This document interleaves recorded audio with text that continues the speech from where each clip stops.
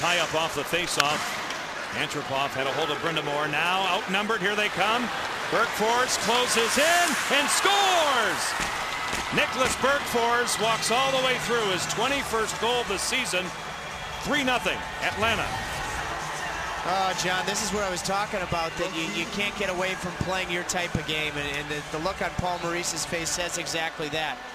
So, you know, Joni Pitkanen, is there anything any, resembling a high forward here? No.